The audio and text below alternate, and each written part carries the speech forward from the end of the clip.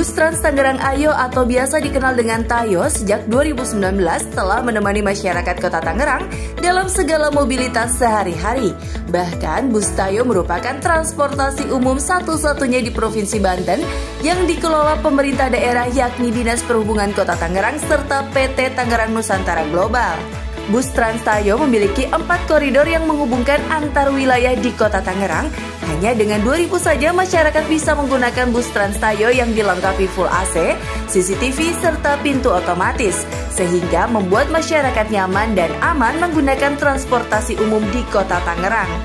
Pemkot Tangerang telah mengelola 40 unit armada bus Tayo dengan kapasitas 25 hingga 30 orang dan beroperasi setiap harinya dari mulai pukul 5 pagi hingga 7 malam.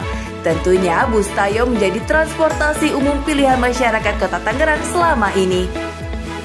Nah, itu sangat memudahkan ya dibandingkan dulu saya harus naik angkot yang harus kebut-kebutan eh, apa namanya takut copet.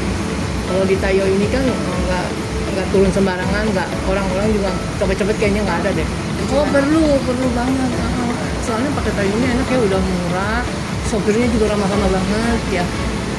Terus bersih sih bersih.